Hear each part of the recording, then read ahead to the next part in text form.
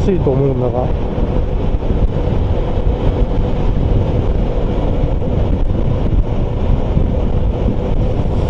れあのクラウン怪しくね？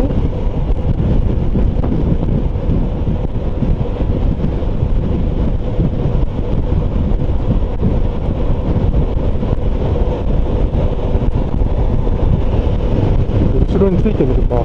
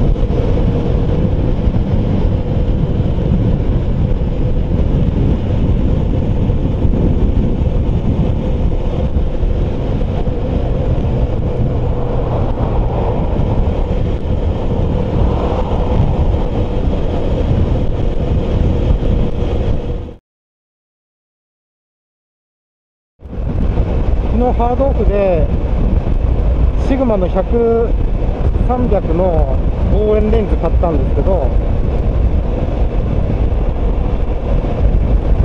なんかレンズとレンズ300円で、えー、あとはまあキャップ前のキャップと後ろのキャップ。